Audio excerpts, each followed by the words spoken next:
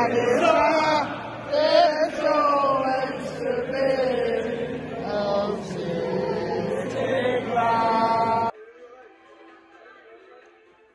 guys, what's going on? It's Talk Forest TV, back again with the Talk Forest Youth um, programme. Well, another interesting week. Real one being on Spencer Penskin, which is really good. Um, obviously with the youth teams, and um, done take fees and the unrated, not really paying much. Um, plus it's coming up to the Christmas period. Obviously, Forest unratings will be playing Bristol City in third one the um, FA Youth Cup as well. So that'd be nice for them to get into the FA Youth Cup swing of things. So it will be nice for them. Um,